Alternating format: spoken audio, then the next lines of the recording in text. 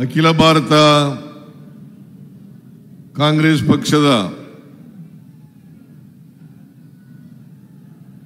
ಮಾಜಿ ಅಧ್ಯಕ್ಷರಾದಂಥ ಮಾನ್ಯ ರಾಹುಲ್ ಗಾಂಧಿ ಅವರೇ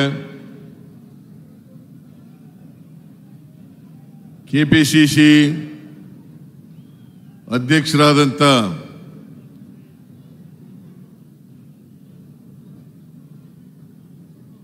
ಶ್ರೀ ಡಿ ಕೆ ಶಿವಕುಮಾರ್ ಅವರೇ,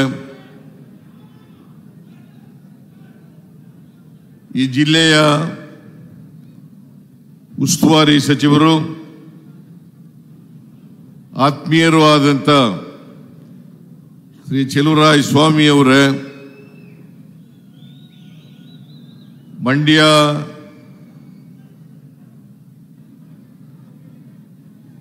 ಕ್ಷೇತ್ರದ ಶಾಸಕರಾದಂಥ ರವಿ ಗಣಿಗ ಗಣಿಗ ಅವರೇ, ವೇದಿಕೆ ಮೇಲಿರ್ತಕ್ಕಂಥ ಎಲ್ಲ ಸಚಿವರುಗಳೇ, ಶಾಸಕ ಮಿತ್ರರೇ, ಮಾಜಿ ಶಾಸಕರುಗಳೇ, ಇತರ ಎಲ್ಲ ಪಕ್ಷದ ಮುಖಂಡರುಗಳೇ, ಇಲ್ಲಿ ಇಷ್ಟೊಂದು ಬೃಹತ್ ಸಂಖ್ಯೆಯಲ್ಲಿ ಸೇರಿರ್ತಕ್ಕಂಥ ಎಲ್ಲ ಆತ್ಮೀಯ ಕಾರ್ಯಕರ್ತ ಬಂಧುಗಳೇ, ತಾಯಂದಿರೇ, ಯುವಕ ಮಿತ್ರರೇ, ಎಲ್ಲ ಬ್ಲಾಕ್ ಸಮಿತಿಯ ಅಧ್ಯಕ್ಷರುಗಳೇ, ಮುಂಚೂಣಿ ಘಟಕಗಳ ಅಧ್ಯಕ್ಷರುಗಳೇ, ಮಾಧ್ಯಮದ ಗೆಳೆಯರೇ. ಇದು ಒಂದು ಮಂಡ್ಯದಲ್ಲಿ ಐತಿಹಾಸಿಕ ದಿನ. ಬಹಳ ದೊಡ್ಡ ಸಂಖ್ಯೆಯಲ್ಲಿ ಇವತ್ತು ಈ ಸಮಾವೇಶದಲ್ಲಿ ಭಾಗವಹಿಸಿ ರಾಹುಲ್ ಗಾಂಧಿ ಅವರಿಗೆ ಸ್ವಾಗತವನ್ನು ಕೋರಲಿಕ್ಕೆ, ಅವರಿಗೆ ಶಕ್ತಿಯನ್ನು ಕೊಡಲಿಕ್ಕೆ ನೀವು ದೊಡ್ಡ ಪ್ರಮಾಣದಲ್ಲಿ ಇಲ್ಲಿ ಸೇರಿದ್ದೀರಿ. ನಿಮ್ಮೆಲ್ಲರಿಗೂ ಕೂಡ ಪಕ್ಷದ ವತಿಯಿಂದ ಧನ್ಯವಾದಗಳನ್ನು ಹೇಳಲಿಕ್ಕೆ ಬಯಸ್ತಾ ಇದ್ದೇನೆ. ಇಪ್ಪತ್ತಾರನೇ ತಾರೀಕು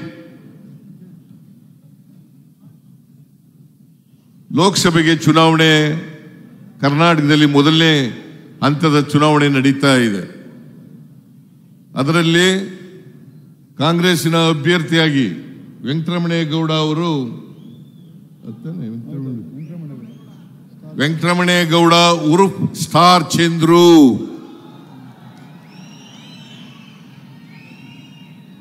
ಅವರು ನಮ್ಮ ಪಕ್ಷದಿಂದ ಅಭ್ಯರ್ಥಿಯಾಗಿ ಸ್ಪರ್ಧೆ ಮಾಡಿದ್ದಾರೆ.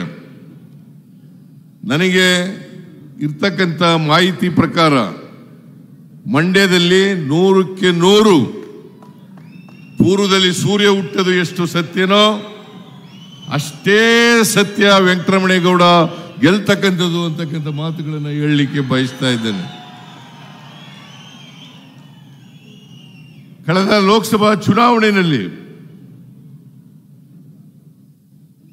ಕುಮಾರಸ್ವಾಮಿ ಅವರು ಇವತ್ತೇನು ಅಭ್ಯರ್ಥಿಯಾಗಿದ್ದಾರೆ? ಅವ್ರ ಮಗನನ್ನೇ ಅಭ್ಯರ್ಥಿಯನ್ನಾಗಿ ಮಾಡಿದ್ರು.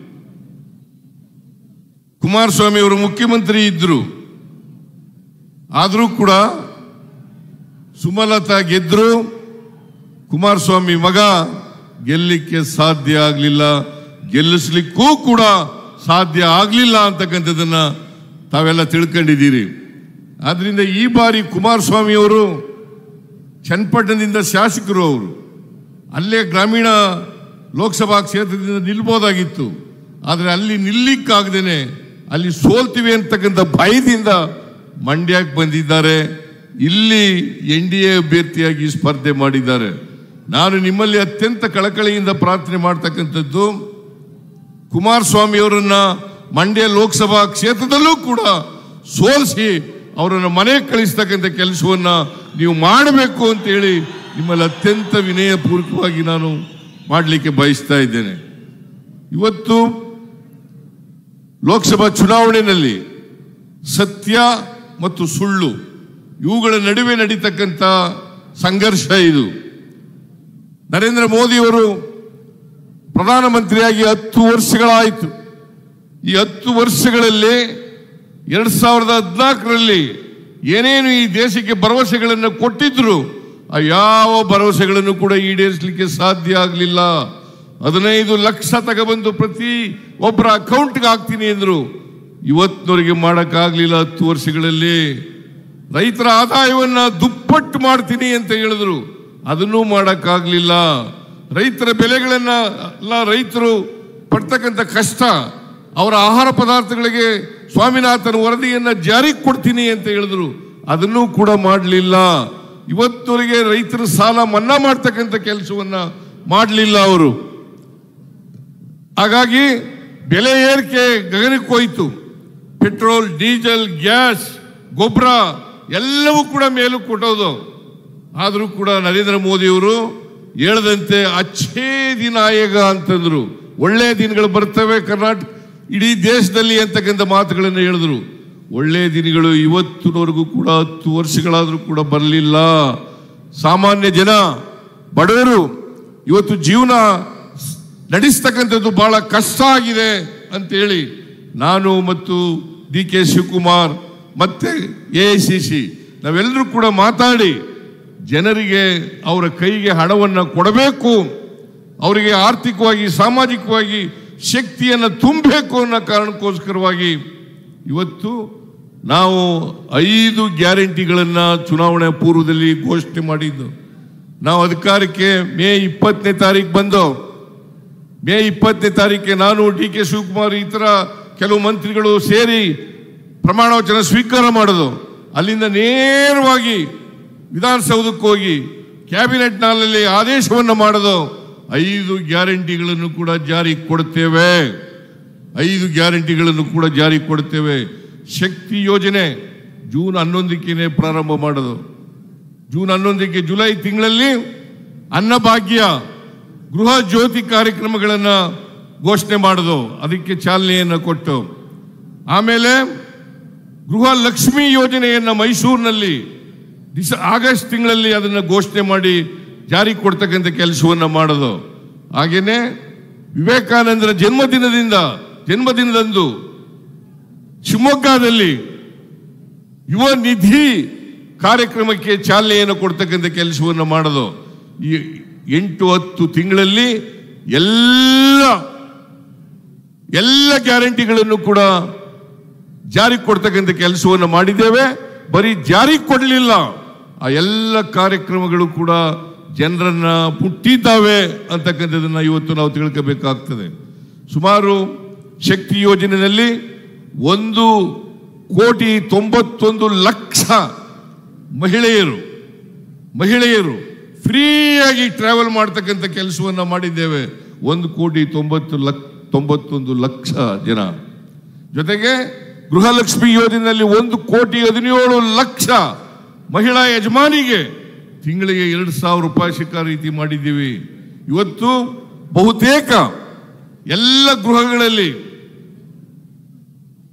ಗೃಹ ಜ್ಯೋತಿ ಯೋಜನೆಯನ್ನ ಜಾರಿ ಮಾಡಿ ಇವತ್ತು ಇನ್ನೂರು ಯೂನಿಟ್ ವರೆಗೆ ಫ್ರೀ ಕರೆಂಟ್ ಅನ್ನ ಕೊಡ್ತಕ್ಕಂಥ ಕೆಲಸವನ್ನ ಮಾಡಿದ್ದೀವಿ. ಇದರಿಂದ ಬಹಳ ಜನ ಬಡವರಿಗೆ ಅನುಕೂಲ ಆಗಿದೆ ಅಂತಕ್ಕಂಥದ್ದು ತಿಳ್ಕೋಬೇಕಾಗ್ತದೆ.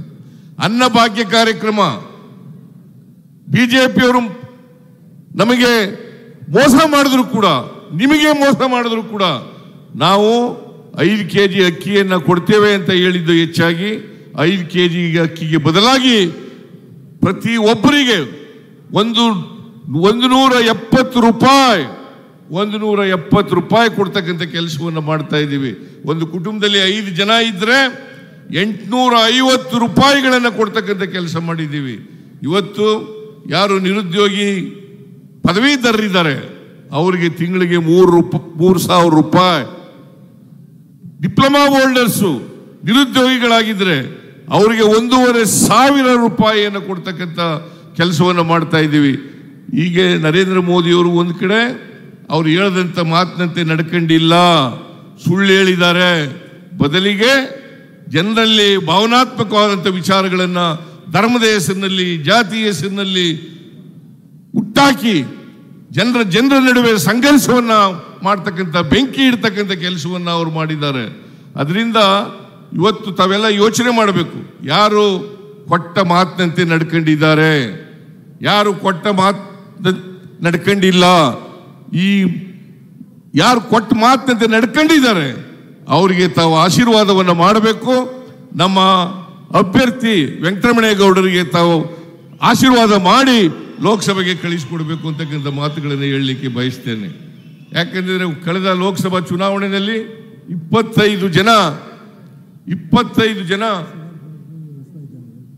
ಇಪ್ಪತ್ತೈದು ಜನ ಬಿಜೆಪಿಯ ಶಾಸಕರು ಗೆದ್ದಿದ್ರು. ಇಲ್ಲಿ ಸುಮಲತಾ ಗೆದ್ದಿದ್ದಂಥವರು ಕೂಡ ಬಿಜೆಪಿ ಸೇರ್ಕೊಂಡ್ರು. ಈಗ ಕುಮಾರಸ್ವಾಮಿಯವರ ಅಣ್ಣನ ಮಗ ಪ್ರಜ್ವಲ್ ರೇವಣ್ಣ, ಅವರು ಕೂಡ ಬಿಜೆಪಿ ಸೇರ್ಕೊಂಡಿದ್ದಾರೆ ಇಪ್ಪತ್ತೇಳು ಜನ ಆದರೂ ಕರ್ನಾಟಕಕ್ಕೆ ಆಗಿರ್ತಕ್ಕಂಥ ಅನ್ಯಾಯದ ಬಗ್ಗೆ ಒಂದು ದಿನ ಬಾಯಿ ಬಿಡಲಿಲ್ಲ. ಒಂದು ದಿನ ಬಾಯಿ ಬಿಡಲಿಲ್ಲ. ಕನ್ನಡಿಗರಾದಂಥ ಅನ್ಯಾಯವನ್ನ ಕೇಳಲಿಕ್ಕೆ ಆಗಲೇ ಇರ್ತಕ್ಕಂಥವ್ರು ಲೋಕಸಭೆಗೆ ಯಾಕೆ ಹೋಗ್ಬೇಕು ಅಂತಕ್ಕಂಥ ಪ್ರಶ್ನೆ ನಿಮ್ಮ ಮುಂದೆ ಇದೆ.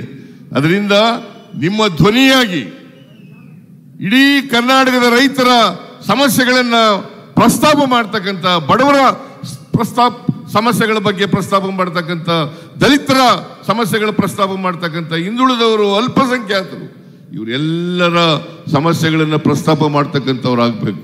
ಇವತ್ತು ನೀವು, ನಾವು ಅಧಿಕಾರಕ್ಕೆ ಬಂದ ಮೇಲೆ, ಇಲ್ಲಿ ಸ್ವಾಮಿ ಹೇಳಿದ್ರು ಶುಗರ್ ಫ್ಯಾಕ್ಟ್ರಿ ಇದೆ ಶುಗರ್ ಫ್ಯಾಕ್ಟ್ರಿ ನಡೀತಾ ಇಲ್ಲ, ರೈತರು ಚಳುವಳಿ ಮಾಡ್ತಾ ಇದ್ದಾರೆ ಅಂತ ಹೇಳಿದ್ರು. ನಾವು ಅಧಿಕಾರಕ್ಕೆ ಬಂದ ತಕ್ಷಣನೇ ಐವತ್ತು ಕೋಟಿ ರೂಪಾಯಿಗಳನ್ನ ಬಿಡುಗಡೆ ಮಾಡಿ ಬಿಡುಗಡೆ ಮಾಡಿ ಶುಗರ್ ಫ್ಯಾಕ್ಟರಿ ನಡೀಲಿಕ್ಕೆ, ಚಾಲು ಮಾಡಲಿಕ್ಕೆ ಎಲ್ಲ ಹಣಕಾಸಿನ ಸಹಾಯವನ್ನು ಮಾಡ್ತಕ್ಕಂಥ ಕೆಲಸವನ್ನು ಮಾಡೋದು. ಈ ವರ್ಷ ನಾನು ಬಜೆಟ್ನಲ್ಲಿ ಹೇಳಿದ್ದೀನಿ, ಶುಗರ್ ಫ್ಯಾಕ್ಟ್ರಿ ಪದೇ ಪದೇ ಪದೇ ಅದು ರಿಪೇರಿಗೆ ಬಂದು ಅದಕ್ಕೆ ಹಣ ಕೊಟ್ಟು, ಅದಕ್ಕೆ ಹೊಸ ಶುಗರ್ ಫ್ಯಾಕ್ಟರಿಯನ್ನ ಅದೇ ಸ್ಥಳದಲ್ಲಿ ಎಲ್ಲಿ ಶುಗರ್ ಫ್ಯಾಕ್ಟರಿ ಇದೆ, ಅದೇ ಸ್ಥಳದಲ್ಲಿ ಹೊಸ ಶುಗರ್ ಶುಗರ್ ಫ್ಯಾಕ್ಟರಿಯನ್ನ ಕಟ್ಟಲಿಕ್ಕೆ ಪ್ರಾರಂಭ ಮಾಡಲಿಕ್ಕೆ ನಿರ್ಮ ಮಾಡಲಿಕ್ಕೆ ನಾವು ಈಗಾಗಲೇ ಕ್ರಮ ತಗೊಂಡು ಬಜೆಟ್ನಲ್ಲಿ ಘೋಷಣೆ ಮಾಡಿದ್ದೆ ಅಂತಕ್ಕಂಥದ್ದನ್ನು ಕೂಡ ತಿಳ್ಕೋಬೇಕಾಗ್ತದೆ. ವಿ ಸಿ ಫಾರಂನಲ್ಲಿ ಚೆಲುವರಾಯ ಅವರು ಹೇಳಿದ್ರು, ನರೇಂದ್ರ ಸ್ವಾಮಿ ಅವರು ಹೇಳಿದ್ರು ಒಂದು ಅಗ್ರಿಕಲ್ಚರ್ ಯೂನಿವರ್ಸಿಟಿನ ಮಾಡಬೇಕು. ಮಂಡ್ಯದಲ್ಲಿ ಕೃಷಿ ಪ್ರಧಾನವಾದಂಥ ಜಿಲ್ಲೆ ಇದು ಮಂಡ್ಯ. ಅದಕ್ಕೋಸ್ಕರವಾಗಿ ಇಲ್ಲಿ ಒಂದು ಅಗ್ರಿಕಲ್ಚರಲ್ ಕಾಲೇಜನ್ನು ಮಾಡಲೇಬೇಕು ವಿ ಸಿ ಫಾರಂನಲ್ಲಿ ಜಾಗ ಇದೆ ಅಂತಕ್ಕಂಥ ಮಾತುಗಳನ್ನು ಹೇಳಿದರು. ನಾನು ಹೇಳಿದೆ, ಒಂದು ತಜ್ಞರ ಸಮಿತಿ ಮಾಡೋಣ ಆ ವರದಿ ಆಧಾರದ ಮೇಲೆ ನಾವು ಅಗ್ರಿಕಲ್ಚರ್ ಯೂನಿವರ್ಸಿಟಿಯನ್ನು ಮಾಡ್ತೇವೆ ಅಂತಕ್ಕಂಥ ಮಾತುಗಳನ್ನು ಕೂಡ ಹೇಳಲಿಕ್ಕೆ ಬಯಸ್ತಾ ಇದ್ದೇನೆ. ಜೊತೆಗೆ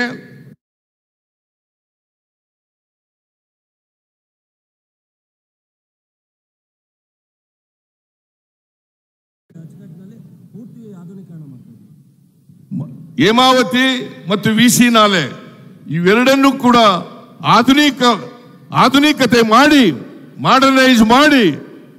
ಯಾರು ಕೊನೆ ಬೈಲಿನಲ್ಲಿ ಕಷ್ಟ ಅನುಭವಿಸ್ತಾ ಇದ್ದಾರೆ, ಆ ಕೊನೆ ಬೈಲಿನ ಜನರಿಗೆ ನೀರು ಕೊಡ್ತಕ್ಕಂಥ ಕೆಲಸವನ್ನೂ ಕೂಡ ನಮ್ಮ ಸರ್ಕಾರ ಮಾಡ್ತದೆ ಅಂತಕ್ಕಂಥ ಮಾತುಗಳನ್ನು ಈ ಸಂದರ್ಭದಲ್ಲಿ ಹೇಳಲಿಕ್ಕೆ ಬಯಸ್ತಾ ಇದ್ದೇನೆ. ಅದರಿಂದ ನಾನು ಹೆಚ್ಚು ಮಾತನಾಡಲಿಕ್ಕೆ ಹೋಗಲ್ಲ. ಮತ್ತೆ ಕೋಲಾರದಲ್ಲಿ ಫಂಕ್ಷನ್ ಇರೋದ್ರಿಂದ ಅಲ್ಲಿಗೆ ಹೋಗ್ಬೇಕಾಗಿದೆ. ರಾಹುಲ್ ಗಾಂಧಿ ಅವರು ಮಾತನಾಡ್ತಾರೆ, ಈಗ ನೀವೆಲ್ಲರೂ ಕೂಡ ಅದರಿಂದ ನೀವೆಲ್ಲರೂ ಕೂಡ ಶಾಂತ ಚಿತ್ತತೆಯಿಂದ ರಾಹುಲ್ ಗಾಂಧಿಯವರ ಭಾಷಣವನ್ನು ಕೇಳಬೇಕು ಅಂತ ಹೇಳಿ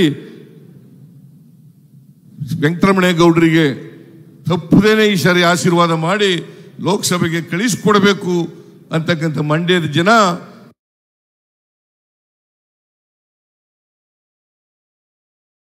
ಶಕ್ತಿ ನಿಮಗಿದೆ. ಅದರಿಂದ ಆ ಶಕ್ತಿಯನ್ನು ಪ್ರದರ್ಶನ ಮಾಡಿ ವೆಂಕಟರಮಣಗೌಡರನ್ನ ಆಶೀರ್ವಾದ ಮಾಡಿ ಅವ್ರನ್ನ ಲೋಕಸಭೆಗೆ ಕಳಿಸ್ಕೊಡಬೇಕು ಅಂತೇಳಿ ನಿಮ್ಮಲ್ಲಿ ಅತ್ಯಂತ ಕಳಕಳಿಯಿಂದ ಪ್ರಾರ್ಥನೆಯನ್ನು ಮಾಡ್ಲಿಕ್ಕೆ ಮಾಡಲಿಕ್ಕೆ ಬಯಸ್ತೇನೆ.